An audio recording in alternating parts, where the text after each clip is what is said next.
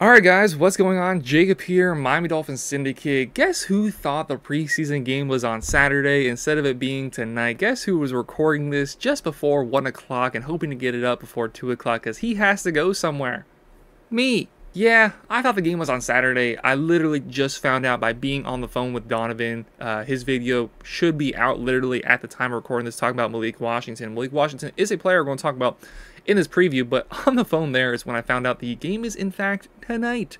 Uh, so yeah, final preseason game, Miami Dolphins going up to Tampa, take on the Buccaneers. A game that I don't think you're going to see a lot of starters playing if you're the Miami Dolphins. For the Tampa Bay Buccaneers, even more of a mystery. Baker Mayfield has not played at all during the preseason, and I tried to find some information about Baker Mayfield as to whether he'll play tonight or not, and I did not find anything online. But you look at the Miami Dolphins, you look at what Mike McDaniel has done in preseason, his first two seasons, and now here in his third, and he has played Tua at least one series in each of the second and third games in the preseason, but I am reluctant to think that Tua is going to go out there today. Multitude of reasons. First and most importantly is just to keep Tua healthy. Tua has had an extensive injury history, and last year he did really well staying healthy, and that was the healthiest season Tua has had since his early days at Alabama.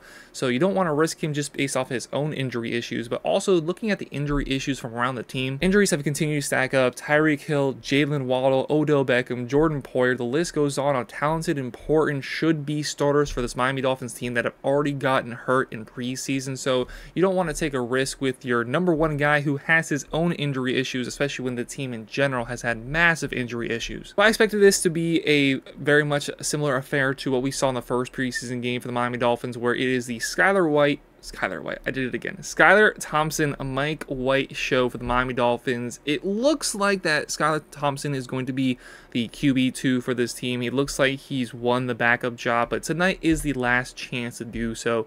Uh, last chance to take the job back if you're Mike White. We've seen Skylar get the start or get the first off the bench role for the Miami Dolphins so far in every game in preseason, and he's looked all right. He's continued to look athletic. He looks like he still you know wants to make plays outside the pocket and looks even more comfortable inside the pocket, which not saying much because Skylar Thompson through his first few years with the Miami Dolphins has absolutely never wanted to stay inside the pocket. But looks like he's starting to adapt to what the offense is, asking of him, what Mike McDaniel is asking of him. And while I still think our backup quarter, quarterback situation is terrible, I, it is what it is. You have what you have, and Skylar Thompson looks to be the best of the two. Mike White had the backup job last year, and when he came in, didn't do anything to impress whatsoever. Looked rather poor, in fact, and came in in blowout opportunities where he wasn't needed to do anything besides just not give the game away. Almost did one time giving up a pick six, but obviously that didn't end up uh, coming back to bite the Dolphins. But he just does not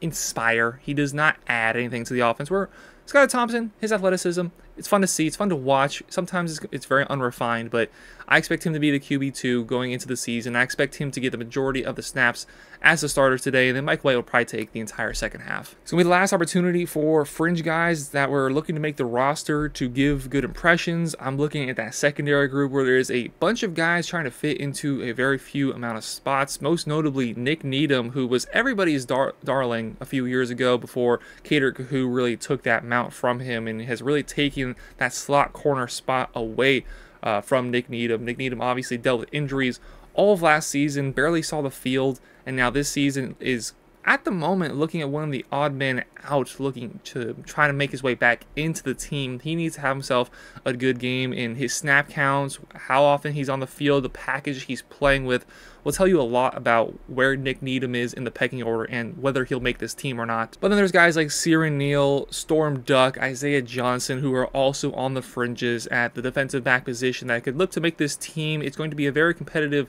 uh, position for the Miami Dolphins to try to get those next guys in line. You know the starters are going to be across the board. Uh, Jalen Ramsey on the other side, you have uh, Kendall Fuller, and then on the inside, you have Kader Kohou. Those are going to be the starting three corners for the Miami Dolphins. But those next guys in line, it's going to be uh, a lot to what we see here tonight will really give us a good indication as who has won those next spots in the defensive back group. I think the most intriguing watch of the night is going to be getting to look at Erik Ezukanma and Malik Washington one more time. Both guys who are potential cut candidates. Donovan earlier today called Malik Washington a bust, which personally hey, I'm with most of you guys who probably watched that video. I think it's a bit egregious to call Malik Washington a bust, especially as a sixth round pick. And I told him that multiple times, but you know, he was projected to be an earlier pick.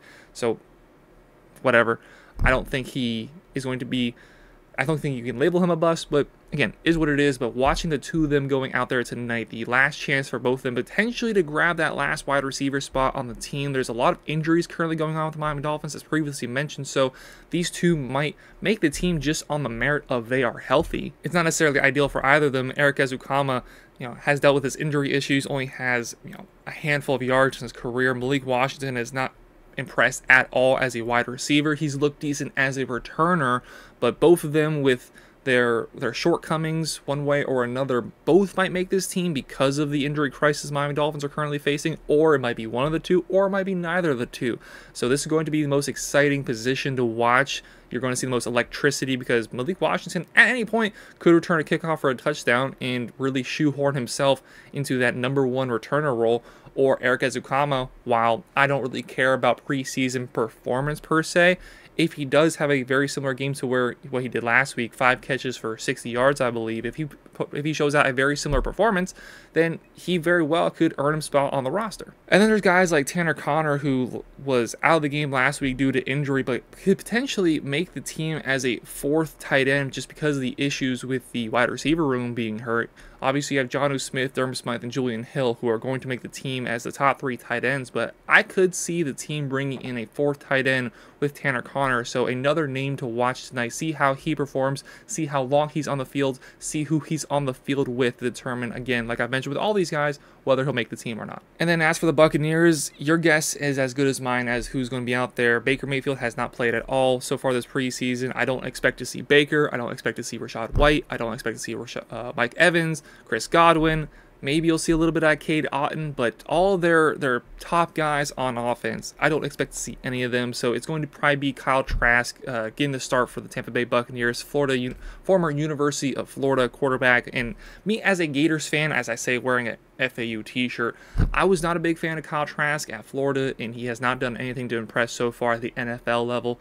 So he is competing for a backup job for the Buccaneers, and that's looking what looking like what his career will ultimately be is just a career backup, and he gets to potentially earn and solidify himself as the number two quarterback up in Tampa tonight. But otherwise, you look across that Tampa Bay roster, hardly any starters are probably going to be out there. I highly doubt this is going to be a game that Miami Dolphins fans remember for a long time. Just guys at the fringes of the roster getting their last opportunities to impress Mike McDaniel and the rest of this coaching staff. If Tua goes out there, I highly, highly doubt we see him for anything more than one, at most two series maybe if he's the starter that first drive, if you go three and out, maybe pick up one first down, the punt team comes out there, maybe see him come out for a second drive, but I don't even expect to see him as well as the rest of the starters in the game whatsoever. So probably going to be rather un- underwhelming uh, affair, probably low scoring, uh, and guys that are going to be out there playing. It's going to be scrappy.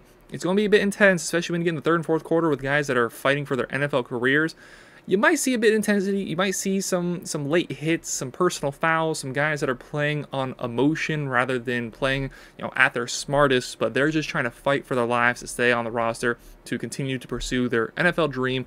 Um, but other than that, there's nothing to write home about with this game. It's probably going to be a very low scoring affair, probably very similar to what we saw last week with 13 to 6. Last opportunity to see the Dolphins before we get uh, kicked off with the regular season on the 9th against the Jacksonville Jaguars. I'm excited to watch. Again, I literally had no idea it was today. I, I went into today thinking, okay, I'm gonna make the, the preview. I'm gonna make it, you know, around probably two or three o'clock. I'm Gonna go make some money and then come back here and, and make the video, have it up by five o'clock on the phone with Donovan. He's like, yeah, you want to come over and watch a game? I'm like, today? Like, what game's today? He's in. He said the Dolphins game. I'm like, oh crap. So, hi, here we are. Let us know how you think the game is going to go down below. What are you excited to see? Who are you excited to see? Let us know down below in the comments while down there. Hit that like button, hit that sub button. We appreciate y'all very much for watching. Have a great rest of your day. Go Dolphins.